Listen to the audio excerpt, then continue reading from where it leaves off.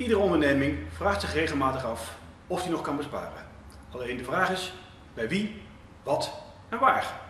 En daarom is de bespaarmakelaar. Dus graag tot ziens.